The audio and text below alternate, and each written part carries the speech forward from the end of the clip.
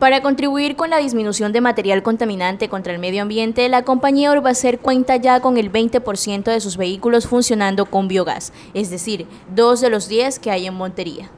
Este proyecto pretende aprovechar el biogás que produce el relleno sanitario de Montería para la movilización de sus vehículos.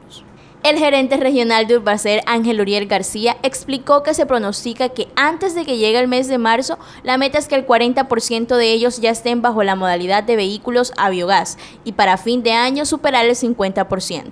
Eh, la zona urbana de Montería opera con 10 carros, ya hay dos, o sea, 20%. Este año esperamos llegar antes del mes de marzo a 4, o sea, al 40%, y a final de año superar ese 50 que es nuestra meta. De este modo está presupuestado por parte de la empresa invertir más de 4 mil millones de pesos en este proyecto tecnológico que busca sacar provecho de los materiales que se producen en la capital cordobesa.